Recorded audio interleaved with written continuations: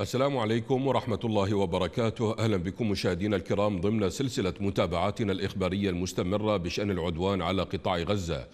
نناقش في هذا اليوم دعوة مسؤولين في الكيان المحتل إلى نفي سكان غزة بالتزامن مع أنباء بشأن استعانة إسرائيل بتوني بلير من أجل إقناع بعض الدول لاستقبال من سيتم تهجيرهم من القطاع. رغم تحذير منظمات أممية من هذه العملية التي عدتها جريمة حرب. سيكون معنا في هذه التغطية عبر سكايب من ستوكهولم المحلل السياسي الفلسطيني عدنان أبو شقرة وعبر سكايب من إسطنبول الأكاديمية وعضوة المؤتمر الشعبي الفلسطيني الدكتورة سائدة أبو البهاء. وننتظر أن تنضم إلينا الصحفية أسماء هريش من الضفة الغربية المحتلة أهلا بكم ضيوفنا الكرام في هذه التغطية. نناقش فيها كما ذكرنا العدوان الصهيوني على قطاع غزة وكذلك استعانة إسرائيل بتوني بلير آه، من أجل إقناع بعض الدول آه، كما يزعمون آه، لاستقبال من سيتم تهجيرهم من القطاع. مشاهدينا الكرام ضيوفنا سنذهب إلى فاصل قصير ولنا عودة بإذن الله.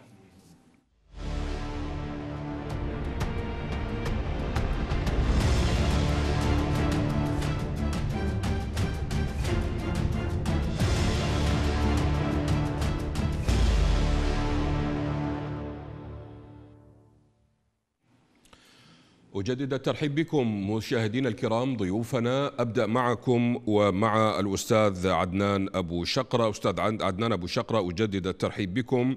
المقاومة أرسلت هدية للاحتلال آه، في عاصمته المزعومة مع دخول العام آه، الجديد. ولكن آه، ما الرسالة التي أرادتها المقاومة بقصف تل أبيب مع بداية العام الجديد؟ آه، تحية لك ولضيوفك الكرام وللمشاهدين. والرحمة لشهداء فلسطين والعافية لجرحى فلسطين والحرية لأسرى فلسطين والنصر لمقاومة فلسطين. آه، المقاومة تريد أن ترسل للعدو الصهيوني رسالة واضحة أنه بعد ثلاثة أشهر آه، من بعد عملية طوفان الأقصى هذا العدو قال أنه سيقضي على هذه المقاومة. فكانت المقاومة أنه بعد ثلاثة أشهر لا زالت قدرات المقاومة كما هي. لا زالت المقاومة قادرة على أن تقصف تل أبيب وقادرة على أن تقصف كثير من المدن الفلسطينية في فلسطين المحتلة. لا زالت المقاومة تباغت هذا العدو في جميع محاور القتال في قطاع غزة. نعم. ورأينا المقاومة تبدع بطريقة لم يشاهدها العالم من قبل. أن يحمل المقاتل الفلسطيني العبوة ويضعها على دبابة هي من الأحدث في العالم. المقاومة تريد أن ترسل رسالة ليس فقط للعدو الصهيوني هي تريد إرسال رسالة للجميع من الذين تخاذلوا وتآمروا على هذه المقاومة وظنوا أن المقاومة ستنتهي وأن الكيان الصهيوني سيستطيع الانتصار على هذه المقاومة. المقاومة أرسلت هذه الرسالة لتقول نحن هنا نحن من يقرر آه، نتنياهو وكل حكومته العسكرية وحكومته السياسية وكل الأطر السياسية والعسكرية في الكيان الصهيوني تحدثت انه أنها ستنقذ أسراهم أو ستخلي أسراهم وستقضي على هذه المقاومة وستعيد تغيير النظام السياسي في قطاع غزة. نجد أنهم لم يستطيعوا أن يحققوا أي هدف استراتيجي غير الإبادة الجماعية للشعب الفلسطيني. المقاومة البارحة في عيد رأس السنة والذي كان يظن العالم أنها ستكون النهاية لهذه المقاومة أرسلت صواريخها لتقول لكل العالم إضافة ليس فقط للعدو الصهيوني والذين تخاذلوا لكل العالم أنه لن يكون هناك حل إلا ما تقرره المقاومة لن يكون هناك إطلاق للأسرى إلا بقرار من المقاومة ولن يحكم الشعب الفلسطيني إلا الشعب الفلسطيني وبقرار من مقاومته. دكتورة سائدة أه، حياكم الله. أه، يعني جيش الاحتلال والمتحدث الرسمي أكدا أن قواتهم دمرت قدرات حماس الصاروخية بنسبة 80% هل كل هذه الرشقة الصاروخية يمكن أن تندرج تحت بند العشرين في المئة من قدرات حماس الصاروخية؟ هل هذا منطقي دكتورة؟ حياكم الله لكم ولمشاهديكم وتحية لشعبنا الفلسطيني الثابت الصامد الذي يدخل عامه الجديد بهذا الصمود الأسطوري ويثبت للعالم أن مقاومته لا زالت بخير وأن صموده لا زال بخير. ولا زال يفند الأكاذيب الصهيونية المتمثلة بهذا الخبر الذي أوردتموه أنتم قبل قليل. نعم. هذا الاحتلال الصهيوني يكذب كما يتنفس. آه، عهدنا هذه الأكاذيب وعشناها على مدار عقود خلت. آه، ما يميز هذه المرحلة أن هذه الأكاذيب باتت معروفة ليس فقط للفلسطينيين إنما باتت مكشوفة لكل العالم لكل أحرار العالم. الجميع الآن لم يعد يثق بهذه آه، المقولات الصهيونية. الصهاينة منذ أكثر من 80 يوم آه، آه، هم هم أهدافهم معروفة. الأهداف التي يستهدفونها هم يستهدفون فقط الأطفال يستهدفون النساء يستهدفون الشيوخ يستهدفون هذه الحاضنة الشعبية الاجتماعية القوية التي تلتف حول مقاومتها. هم لا هم لا يجرؤون أساسا ولا يقدرون ولا يستطيعون على مواجهة جندي لجندي. هم أش هم هم آه، هم انذل من ذلك وأخس من ذلك وهم أثبتوا بالواقع العملي أنهم آه، غير قادرين على على المواجهة الشريفة المواجهة النظيفة. هم يلجؤون إلى الخاصرة الضعيفة إلى نعم. الشعوب إلى المدنيين حتى يضغطوا على هذه المقاومة. وهذه السياسة معهودة لهم وسئمها سئمها الشعب الفلسطيني وهو يعرف يعرفها تماما ويعرف كيف يتعامل معها. لذلك ترى هذا الالتحام هذا الالتحام الكبير ما بين الشعب وما بين مقاومته. كل محاولات الصهاينة لفض لفض هذه الحاضنة عن المقاومة كلها باءت بالفشل. ولن ولن يستطيعوا ولن يستطيعوا كل يوم يثبت لنا هذا الشعب الفلسطيني العظيم الذي قهر الغزاة على مدار آه، العهود آه، آه، الماضية. إن شاء الله ستكون نعم. ستكون غزة مقبرة لهم في عامهم الجديد. كما أثبتت للعالم على في نهاية هذا العام المنصرم ان ان أن هناك لا زال هناك في هذه الأمة خير وان وأن غزة طيب. لا زال فيها أبطال نعم. يقومون بهذا الدور نيابة عن كل الأحرار في العالم. أستاذ عدنان يعني أتوقف عند نفس النقطة لا أغادرها كما طرحتها على الدكتورة سائدة أبو البهاء هو نظرة الشارع للادعاءات الإسرائيلية متمثلة بحكومة آه، نتنياهو وحتى بشخص نتنياهو نفسه آه، بأن قدرات حماس قد دمرت بنسبة 80% سأتوقف آه، قليلا مع الإنفوغراف حيث مشاهدينا الكرام مع تقرير الإنفوغراف الذي يفضح استغلال اللوبي الصهيوني موقع كناري ميشن لأجل التشهير والتحريض. ضد منتقدي إسرائيل واحتلال فلسطين بذريعة معاداة السامية.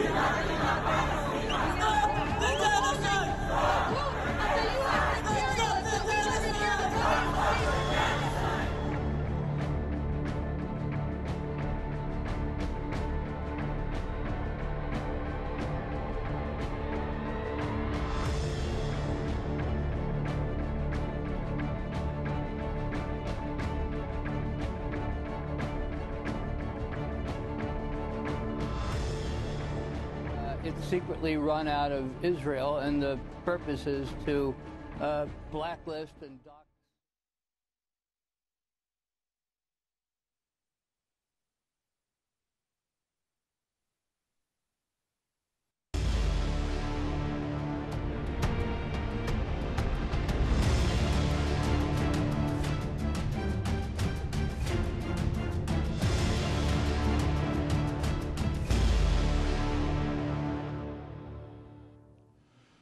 أهلا بكم مشاهدينا الكرام في تغطيتنا الخاصة عن العدوان الصهيوني على قطاع غزة. توقفنا مع الأستاذ عدنان عند نقطة. أن قوات الاحتلال تدعي بأنها دمرت آه، القوى الصاروخية بالنسبة إلى حماس بنسبة تقترب من 80% هذه الادعاءات آه، ولكن المقاومة تثبت كل يوم كذب ادعاءات الكيان الصهيوني. ما أثر ذلك على مصداقية آه، نتنياهو وحكومته أستاذ عدنان؟ لنضع الأمر في آه، شقين، الشق الأول هو الشق الداخلي الصهيوني الإسرائيلي والشق الآخر هو العالم الخارجي. آه، الصهاينة بالعادة يأخذون معلوماتهم من محطات محطاتهم الإخبارية ونحن يجب أن لا ننسى يعني الكيان الصهيوني يتغنى دائما بأنه الديمقراطية واحه الديمقراطية الوحيدة في العالم العربي آه، أن هناك رقيب يمنع نشر أي خبر آه، لا يريده الجيش ولا تريده الحكومة، فلذلك المعلومات يعني حتى لو استقوا معلوماتهم من وسائل التواصل الاجتماعي تبقى معلوماتهم على على قدر محدود. نعم. ولكن ما حدث وهذا آه، يمكن سبب صدمة للكثير أن الكيان الصهيوني كان معروفا بقوته الدعائية. وكما عرض التقرير على قضية معاداة السامية فهم كانوا يستعملوا معاداة السامية في مهاجمة أي إنسان يتحدث بالنقد عن هذا الكيان. يعني هم لا يضرهم أن يتعاونوا مع العنصريين في أوروبا ولكن لا آه، المهم أن لا ينتقدوا الكيان الصهيوني نعم. يعني نحن رأينا المد... آه، الناطق باسم الجيش الاحتلال الصهيوني عندما دخلوا إلى مستشفى الشفاء أصبحوا فعلا أضحوك أمام العالم. ولذلك عندما أنت لا تستطيع أن تميز جدول آه، أسبوعي من غرفة عمليات مركزية وعندما عرضوا ما وجدوا في مستشفى الشفاء هذا أثبت زيف الدعاية الصهيونية. لذلك عندما يتحدثوا عن تدمير قدرات حماس الصاروخية أو قتلنا عشرة ألاف مقاتل فلسطيني لغاية الآن لم نرى أي شيء. حتى في أفلامهم الدعائية في الهجوم على قطاع غزة لو نظرت لها سيدي لوجدت أنهم نرى جنود صهاينة يقتحموا بيوت لا نرى فيها أي إنسان لا نرى حتى إطلاق نار من الطرف الآخر. بينما آه، قيادة المقاومة في قطاع غزة تعطيك الدليل بالصوت والصورة وباللحظة. يعني نحن نرى كيف يفجر الدبابات كيف يفجر الجرافات كيف يقتل ويقنص المحتلين الصهاينة. ولذلك يعني أنا سمعت البارحة من محلل آه، سياسي سويدي يقول أنه إن أن الإعلام الحربي الفلسطيني تفوق بعشرات المرات على الإعلام الحربي الصهيوني. وذلك لأن السردية الصهيونية أثبتت كذبها. ولو كان هذا الكلام صحيح كما تفضلت يعني هل هي العشرين بالمئة من التي بقيت للمقاومة الفلسطينية؟ يعني نحن لاحظنا أن غرفة العمليات في المقاومة الفلسطينية هي التي تحدد إيقاع المعركة. يعني نعم. في بعض الأحيان نجد أنهم يقصفوا محيط قطاع غزة وعندما يريدوا أن يرسلوا رسالة كبيرة يكون القصف إلى عاصمة هذا الكيان ألا وهي تل أبيب ومطار بن غوريون، يعني كأن المقاومة تقول له نحن نحدد ليس فقط الإيقاع العسكري للمعركة ولكن آه، نحدد الإيقاع الإعلامي للمعركة. ولذلك أظن حتى في على صعيد العالم يعني بدأنا نرى أن السرديه الإسرائيلية تتآكل بشكل كبير. العالم لا يصدق السرديه الإسرائيلية ولا الرواية الإسرائيلية. نحن لاحظنا كيف في بداية طوفان الأقصى وضعوا حرق أطفال واغتصاب نساء. خرجت النساء الصهيونيات من المعتقلات الفلسطينية آه، آه، من غزة. وهن يتحدثوا أن هؤلاء يعامل نساءهم كالملكات. رأينا كيف أن آه، أسيرة صهيونية خرجت حتى بكلبها. يعني مما يثبت هذا الوجه الحضاري والإنساني. وكل هذه الصور كل هذه الصور أثبتت زيف الادعاءات الصهيونية. فإذا كانوا يكذبوا بهذا الأمر فما بالك بالناحية العسكرية والتي لم يستطيعوا أن يقدموا أي دليل واحد على هذا الموضوع؟ طيب دكتورة سائدة آه، لو انتقلنا الآن إلى موضوع طبعا مهم وهو استعانة الاحتلال الإسرائيلي بتوني بلير رئيس وزراء بريطانيا الأسبق آه، في الفترة القادمة آه، كشفت القناة 12 العبرية عن عزم الاحتلال تعيين رئيس وزراء بريطانيا الأسبق توني بلير من أجل إقناع بعض الدول لاستقبال من سيتم تهجيرهم من قطاع غزة ماذا فهمت من هذه الاستعانة دكتورة؟ آه، دعونا نفصل في نقطتين. اولا هذا الخبر يعني ورد على صحيفة آه، إسرائيلية ولم يتبناه توني بلير للعلم حتى أنه نفاه فبت... لكن فكرة التهجير هي قائمة أكيد قائمة. يعني فكرة التهجير كما أسلفنا هي موجودة ضمن المخططات الصهيونية حتى قبل 7 أكتوبر. وإنما الاحتلال حاول من خلال 7 أكتوبر ل آه، يعني حاول من خلال هذا آه، الضوء الأخضر باختصار الأمريكي وهذا التحالف الغربي الغير مسبوق مع الاحتلال آه، أن يحاول أن يستثمر باختصار بتثبيت هذا المخطط. آه، المخططات الصهيونية في تهجير الفلسطينيين يعني بدأت منذ الخمسينيات. الخم يعني بدأت آه، وتكررت أيضا حتى في السبع في سبعينيات القرن الماضي. وحتى في 2010 آه، أيضا كان هناك مخطط قوي أشرف عليه الأمن القومي الإسرائيلي. أعيدت أيضا على الطاولة في 2020 وهي الآن أيضا يعني يتم استدعائها من جديد. باختصار الهوس الأمني باختصار الذي بني على بني عليه الكيان كان وجوده في هذه المنطقة. آه، هم لا يريدون أي وجود فلسطيني آه، يهدد كيانهم باختصار. فهم آه، يريدون باختصار أن تكون هذه الأرض التي وهم دائما يرددون أرض بلا شعب. فحقيقة هذه المخططات رغم أنها موجودة وفي كل مرة آه، يعني يثبت الفلسطيني أنه قادر على إحباطها. يعني فشلوا في الخمسينات وفشلوا في السبعينات وفشلوا في الألفين ولكنهم لا زالوا يعيدون الكرة تلو الكرة. يعني هذا آه، هذا هذا الاستعلاء آه، أو هذا النفس الذي يحاول أن يثبت فيه الإسرائيلي أنه قادر على قمع الفلسطيني. يثبت بالمقابل أن الفلسطيني ولكن ولكن دكتورة سائد آسف المقاطعة ولكن هذه المرة يعني المقاومة ضربت الاحتلال الإسرائيلي في مقتل. هذه المرة ربما تختلف عن الأعوام والسنوات السابقة.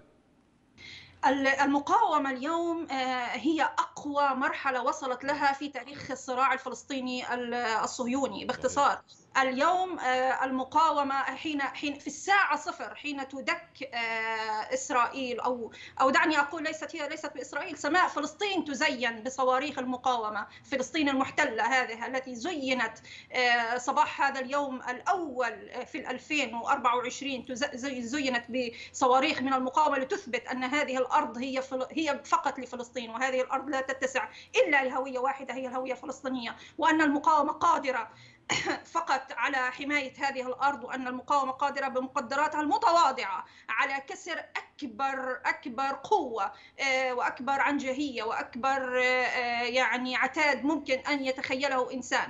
أنت تتكلم عن أكبر تكنولوجيا تواجهها كتائب بمقدرات بسيطة لكن استطاعت هذه الكتائب فعل ما لم تفعله جيوش عربية مجتمعة.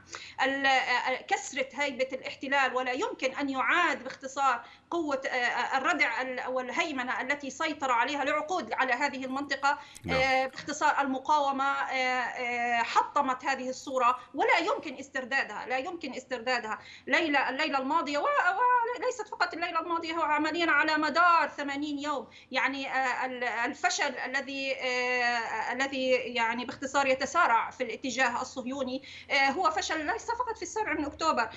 المنظومة الأمنية الاستراتيجية التي فشلت حتى اليوم في معرفة ماذا حدث في 7 أكتوبر. هل يمكن لها أن تعرف ماذا نعم. يحدث في غزة؟ هي باختصار تتخبط ولا زالت تخبط وسيد الموقف في مجلس الحرب الصهيوني.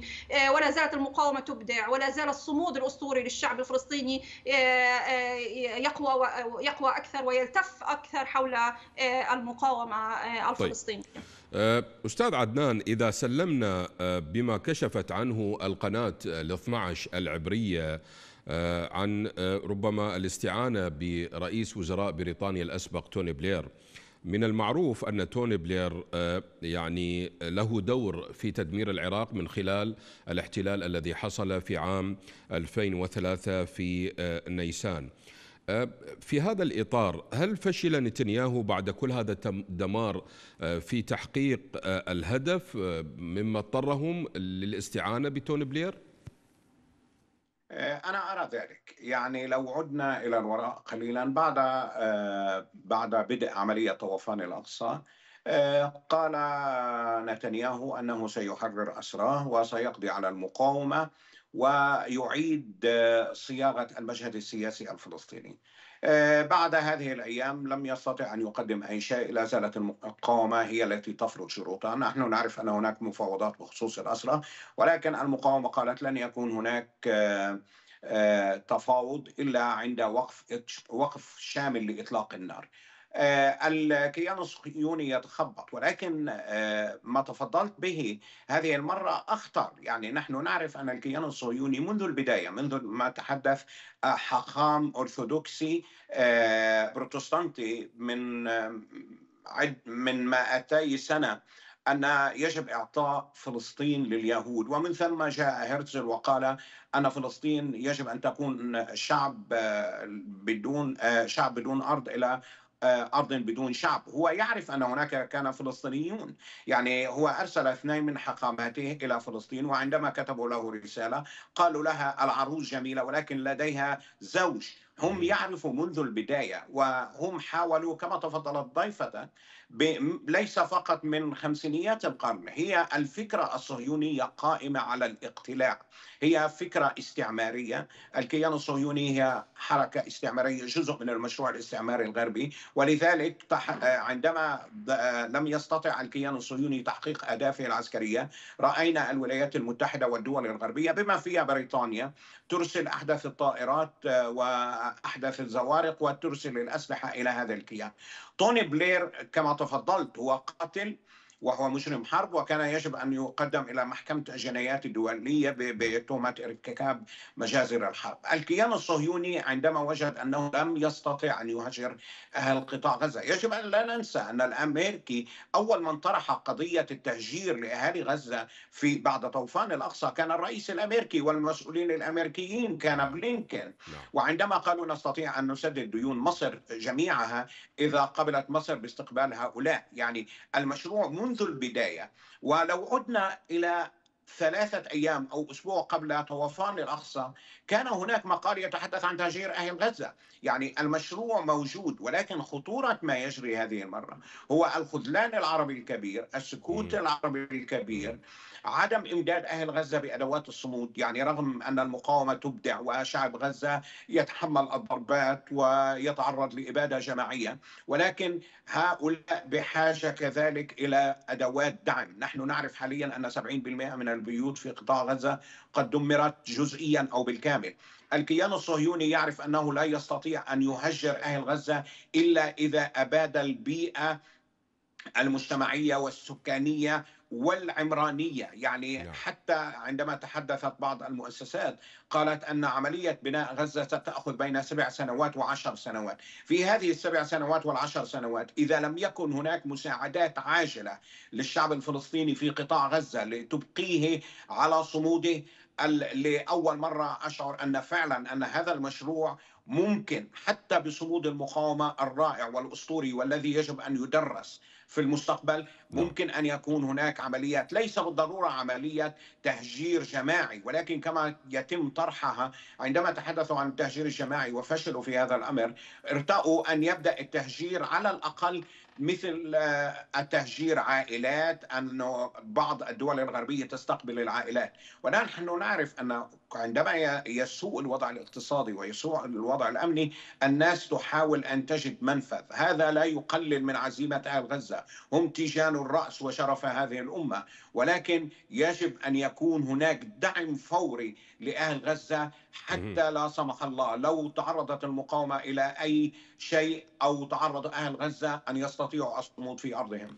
دكتورة سائدة هنا في هذه النقطة المفصلية هل يمكن أن نربط بين آه، خطة تهجير الفلسطينيين آه، بحديث رئيس وزراء الاحتلال الإسرائيلي بنيامين نتنياهو عن محور فيلادلفيا وبالتالي هو يصر على السيطرة على هذا على هو الكيان الصهيوني آه، يحاول أن يستثمر كل آه، النقاط التي تساهم وتساعد في إبقائه في المنطقة بصورته التي عهدها آه، من قبل وهي باختصار السطو باختصار الاستعلاء في المنطقة هيبة الردع هذه يريد استعادتها وبالتالي هو يحاول من كل هذه الأهداف التي يبدو عليها. آه، انه انه هناك يعني في تنوع في الأدوات. هي كلها تخدم هذا الهدف الاستراتيجي. هدف وجود إسرائيل آمنة باختصار في المنطقة وبالتالي لتحقيق هذا الهدف. ينبغي باختصار إضعاف كل المنطقة أو كل ما يهدد الكيان أو من شأنه أن يفكر في تهديد الكيان ومن ضمنها آه، محور فيلادلفيا نعم. فباختصار هو باختصار يحاول قدر الإمكان الإبقاء على هذه الصورة التي لكنها تكسرت بالفعل الآن المحيط ليس عند الفلسطينيين المحيط العربي والمحيط الإسلامي والمحيط والإقليمي بشكل عام وحتى الدولي يعلم أن آه، إسرائيل اليوم ليست كما بالسابق. رغم كل الدمار الذي أحدثوه في غزة ورغم كل هذا الخذلان الذي تفضل به ضيفكم الكريم نعم. آه، لكن لا زالت آه، لا زالت غزة قادرة على آه، الصمود. حقيقة هذا المفروض أن يدفع بهذه الأنظمة أن تعيد التفكير بوجودها أساسا. يعني هذه الأنظمة التي مع الأسف تحمي عمليا عمليا تحمي وجود الكيان في المنطقة. المنطقة ولا تجرؤ على حماية الفلسطيني. هي باختصار آه، تضر بنفسها قبل أن تنفع الفلسطيني. باختصار هي هي في هي إذا لم تتصالح مع شعوبها وإذا لم تبادر وتكون بالفعل ممثلة لهذه الشعوب الحية هذه الشعوب العربية لا نعم. زالت تختزن الألم صحيح لا زالت آه، يعني لكنها لم تتصالح يوما مع الألم لم تتصالح يوما مع مستعمر ولا يمكن لها أن تتصالح. فبالتالي هذه الشعوب هي ثائرة بطبعها هذه الشعوب هي حرة بطبعها. طبعها لا يمكن أن تهجن. وكل محاولات هندسة هذه الشعوب وهندسة هذه المنطقة وكل مخططات الأمريكان سواء في العراق أو حتى في أفغانستان كلها كلها يعني وفي ثورات الربيع العربي نعم، كان في الثورات نعم. المضادة للربيع كلها فشلت. هذا هذه الشعوب نعم. شعوب لا يمكن للكيان أن أن أن يفرض أن يفرض باختصار رؤيته عليها. صحيح هناك ألم هناك هناك قتل هناك فقد إلى آخره وهناك وجع كبير وهناك وهناك دمار كبير. يعني باختصار هو يسعى هو لا هو باختصار أهدافه كما قلنا هي كلها أساسا تلاشت نعم. يعني نعم. هو لم يستطع نعم. باختصار آه، إضعاف حتى إضعاف المقاومة لم يستطع على ذلك ولا آه، فكيف كيف كيف كان بالأول يتكلم عن اجتثاث للمقاومة وسحق للمقاومة الآن هو غير قادر على مواجهة هذه المقاومة اليوم هو يتعامل يتعامل وبات الحديث اليوم الحديث السياسي المنتشر في الوسط أنه لا يمكن تجاوز المقاومة المقاومة أثبتت أنها نعم هي الضلع الأكبر باختصار في الشعب الفلسطيني ولا يمكن لأحد أن يتجاوزها من طيب. هذه المعادلة. أه ضيوفنا مشاهدينا أه نرحب بالصحفية الفلسطينية أسماء هريش من الضفة الغربية. أه أستاذة أسماء حقيقة نحن نستثمر وجودك هنا للتعرف على المزيد من التطورات والمعلومات المهمة التي تدور في الأراضي الفلسطينية المحتلة. أه، قوات الاحتلال تنفذ عدوانا واسعا على أه، بلدة قطنة شمال غربي القدس المحتلة إذا كنت قد لفظتها بشكلها الصحيح أه، هل لديك معلومات أكثر عن نتائج هذه الحملة؟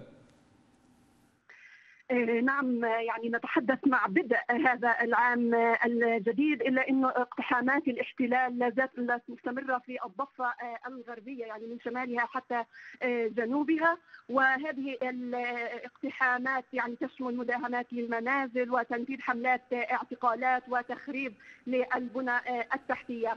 يعني لو تصح هي بلدة قطنه فقط آه. يعني للتوضيح جميل آه، نعم. يعني بحيث اقتحمت قوات الاحتلال فجر اليوم آه، بلدة قطنة هي شمال غرب مدينة القدس وداهمت العديد من منازل المواطنين واعتقلت عددا منهم وحملة كانت حملة الاعتقالات يعني حملات واسعة طالت العشرات من أبناء البلدة وتم الإبقاء على اعتقال 12 مواطن بالإضافة إلى أنه تم الإفراج عن باقي المعتقلين بعد التحقيق الميداني معهم. من ضمنهم كان هناك اعتقال سيدة أيضا تم اعتقالها كرهينة وتم الافراج عنها بعد التحقيق الميداني. وبات الاحتلال يعني يستخدم سياسة الرهائن آه، بشكل واسع منذ السابع من أكتوبر حتى اليوم. نشهد في العديد من حملات الاعتقال أن الاحتلال يعتقل أحد أفراد العائلة.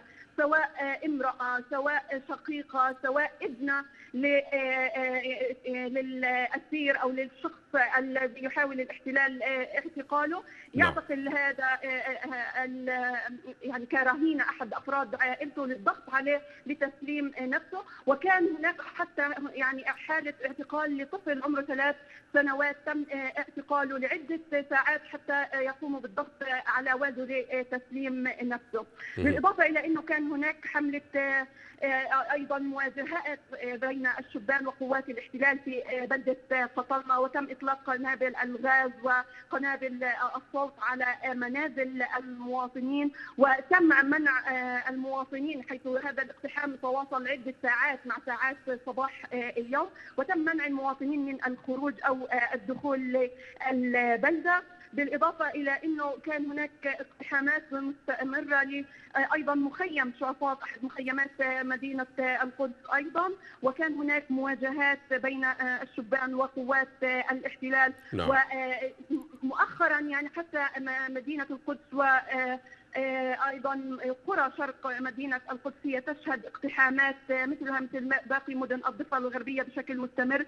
وأيضا منذ السابع من أكتوبر حتى الاحتلال يمارس ضغوطات على أهالي مدينة القدس المحتله كان هناك اقتحام أيضا اليوم لبلدة جبل المكبر في القدس المحتلة بالإضافة إلى إنه هناك تضييقات على أهالي خاصة أهالي البلدة القديمة تضييقات حتى يمنعونهم من الوصول للمسجد الأقصى وأداء الصلاة اليومية نعم أستاذ أسماء أيضا بتنفيذ نعم. حملة اعتقالات طيب. ومداهمات أستاذ عدنان آه، مسؤولين أمريكيين نقلت عنهم صحيفة نيويورك تايمز آه، يؤكدون أن هناك آه، خلافا بين واشنطن وحكومة نتنياهو فيما يتعلق باليوم التالي للحرب على أه، كيف يمكن فهم نقاط الخلاف؟ وهناك دعم غير مسبوق من قبل واشنطن للحكومة الإسرائيلية. هل هذه ازدواجية أم مكملة لحبك الدور في قطاع غزة؟ أنا أعتبرها أنها هي لحبك الدور. نعم. يعني نحن لاحظنا منذ طوفان الأقصى الذي قاد السياسة الخارجية حتى للكيان الصهيوني كان هو بلينكن. وعندما جاء إلى المنطقة تحدث بأنه يهودي يأتي إلى المنطقة كيهودي وكانت سابقة في تاريخ السياسة الأمريكية. يعني حتى اليهود من الأمريكان حتى كيسنجر لم يقل يوما أنه يهودي ولذلك كانت آه، الدور فاضح جدا. يعني لاحظنا أن بايدن آه، هو الذي قاد الحملة كذلك منذ البداية عندما تحدث عن قضية تهجير الفلسطينيين أو انتقالهم إلى أماكن آمنة كما آه، كما وصفها. آه، نحن لاحظنا كيف أن القيادة العسكرية الأمريكية أرسلت حاملات طائرات تزود الكيان الصهيوني بأحدث الأسلحة. آه، يبدو أن القيادة الأمريكية كانت تعتبر أن الكيان الصهيوني وهو رأس الحربة والمخلب القذر لهذه الدولة وللدول الاستعمارية أنه سيستطيع القضاء على المقاومة ومن ثم آه، تسير الأمور كما هو مخطط لها. ولكن عملية آه، استمرار المقاومة الفلسطينية والآن دخلنا بالشهر الثالث بعد طوفان الأقصى تقريبا دخلنا بالشهر الثالث ولا يست... ولم يستطع الجانب الصهيوني أن يقدم أي منجز لا سياسي ولا عسكري ل... ل... لا للجانب الأمريكي ولا لحلفائه في أوروبا. يعني نحن نتناسى في كثير من الأحيان أن الاتحاد الأوروبي دوله الأساسية هي تقف بصف الكيان الصهيوني وهي التي تمنع آه، قرارات وقف إطلاق النار الشامل. ولا زالت تتحدث عن حق الكيان الصهيوني وأنا لا أفهم كيف ذلك يعني هم يقرأوا على الأقل الاتفاقيات الدولية ولكن أصبحت الاتفاقيات الدولية وحقوق الإنسان تحت الأقدام هذه المرة الدور الأمريكي هو دور أساسي يعني لاحظ التناقض في كما يرى البعض أن هناك تناقض، هو ليس تناقض، هو اتساق في الموضوع. أمريكا تتحدث عن وقف عن هدى الانسانيه وبنفس الوقت ترسل أحدث الأسلحة إلى الكيان الصهيوني. صحيح. لدرجة أنهم حتى خرجوا عن عن الطرق المتبعة في تسليم السلاح، يعني هم يعتبروا أن الوضع استثنائي، كأن المعركة هي بالأساس وهي بالفعل.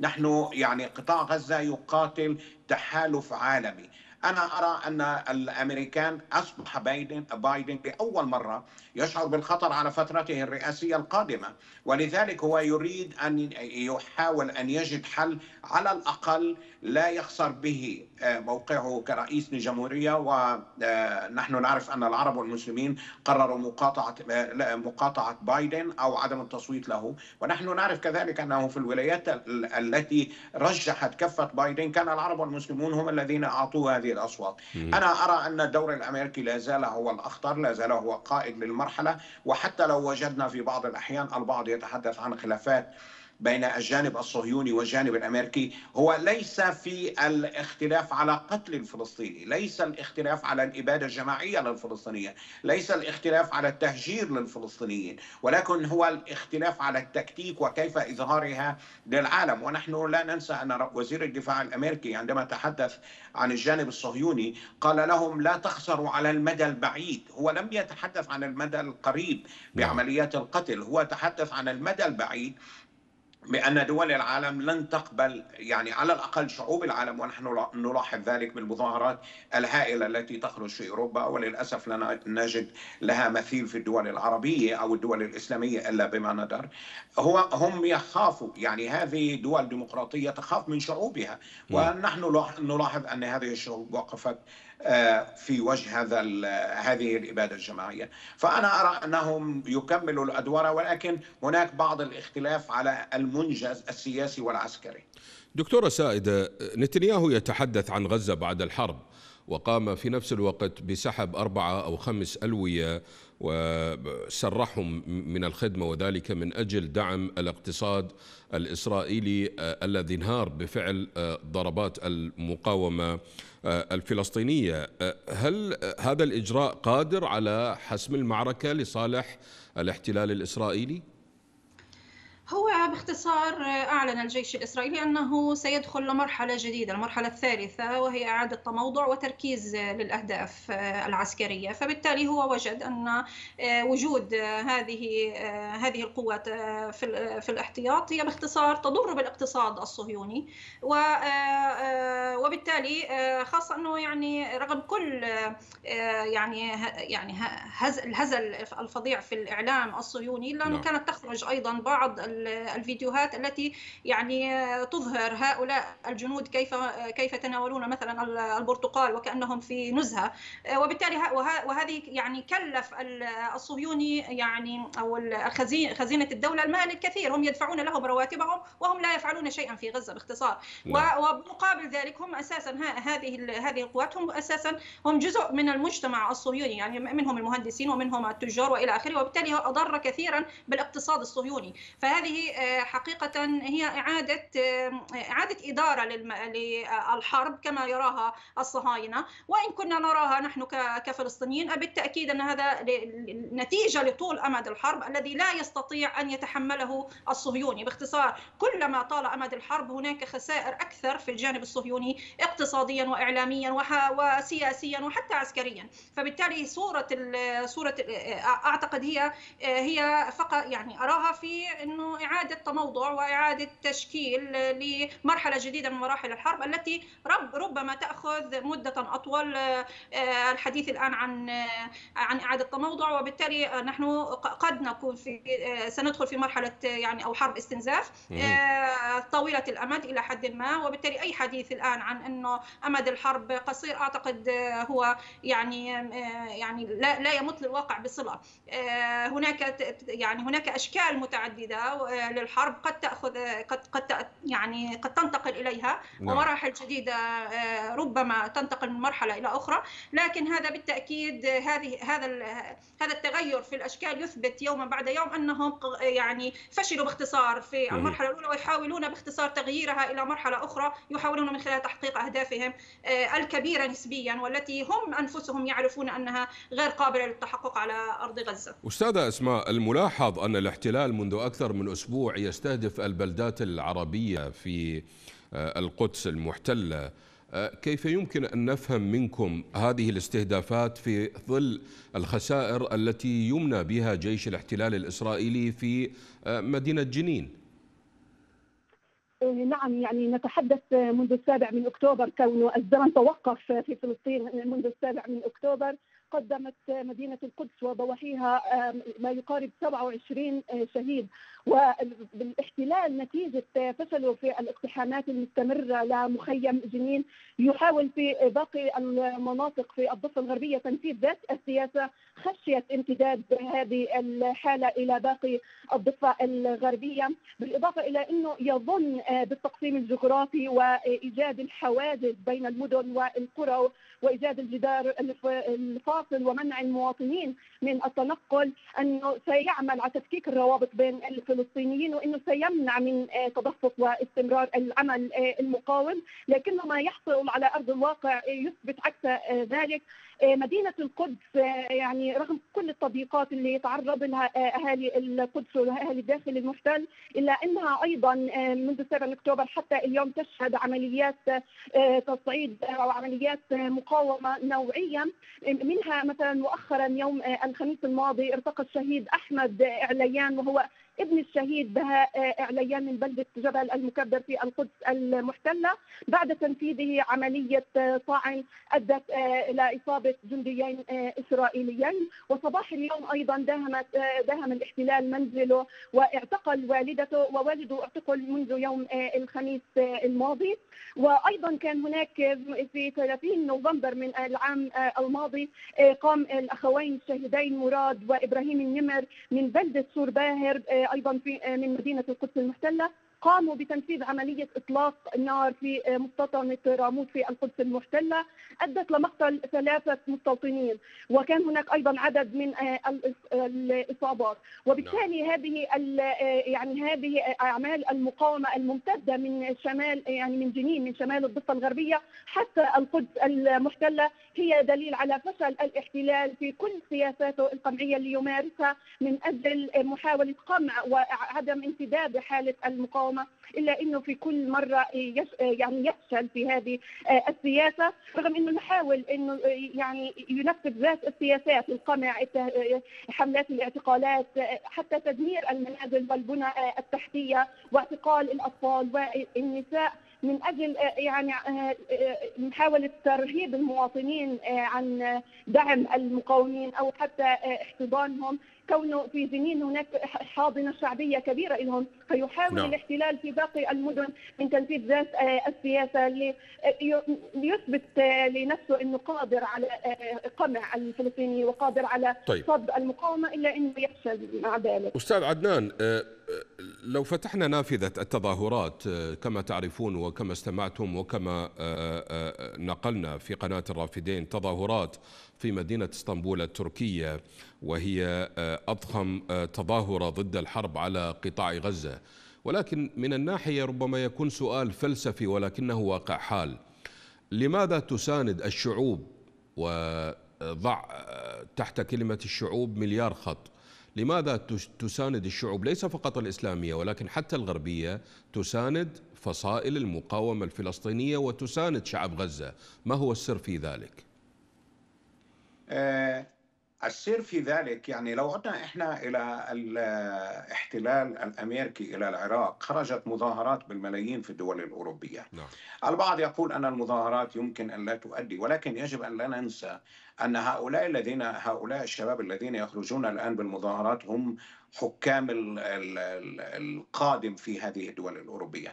الدول الأوروبية والغرب تحديدا لو أخذنا الغرب تحديدا كان كانت السردية الصهيونية هي السائدة دائما. هم كانوا يشعروا بالذنب لما جرى لليهود في أثناء الحرب العالمية الثانية. هم تم تعبئتهم عن طريق الأفلام والمسلسلات. آه، وكان وكان الفلسطيني لا يستطيع أن يصل أو العربي أو حتى المسلم إلى وسائل الإعلام التقليدية. يعني كان في صعوبة أن تكتب بجرائد آه، أوروبية وغربية. ولكن الآن عن طريق السوشيال ميديا آه، وسائل التواصل الاجتماعي آه، وتمكن الأجيال الفلسطينية والعربية خصوصا من هذه الوسائل أوصلت الرسالة إلى إلى الغرب. وكان لدور الصحفيين في قطاع غزة دور جبار. يعني هؤلاء هم أبطال ويجب أن تقام لهم تماثيل. يعني هؤلاء الذين أعطونا بالصوت والصورة كيف تجري الإبادة الجماعية للشعب الفلسطيني. الدول الغربية أو الشعوب في الدول الغربية لم تعد تقتات على على وسائل الإعلام التقليدية. هم يستطيع أن يصلوا إلى الأخبار بجميع هذه الوسائل. الدور الفلسطيني يجب أن ننوه بتغيير فعلي حدث بعد عملية سيف الأقصى.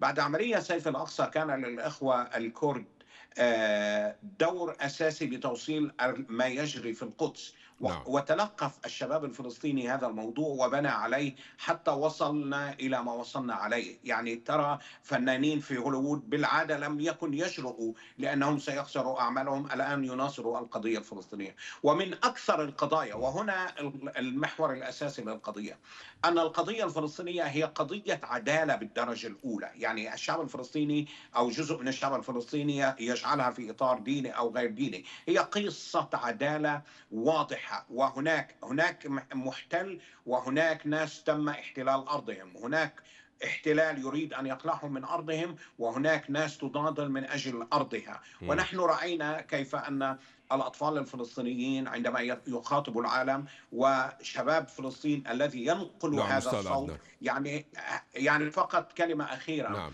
آه، استطاع الشباب الفلسطيني والمساندين للقضية الفلسطينية أن يكونوا صوت غزة وصورة غزة في كل هذه المظاهرات وهذا ما نراه يعني مظاهرات ليلية ويومية في معظم الدول الغربية. في ختام هذه التغطية نتقدم بالشكر الجزيل إلى الأستاذ عدنان أبو شقرة المحلل السياسي الفلسطيني. حدثنا مشكورا عبر سكايب من ستوكهولم وأيضا نتقدم بالشكر الجزيل إلى الأكاديمية وعضوة المؤتمر الشعبي الفلسطيني الدكتورة سائدة أبو البهاء حدثتنا عبر سكايب من إسطنبول. وأيضا الشكر موصول إلى آه، آه، الأستاذة أسماء هريش آه، الصحفية الفلسطينية حدثتنا عبر الهاتف من الضفة الغربية. مشاهدينا الكرام الشكر موصول لحضراتكم. إلى اللقاء.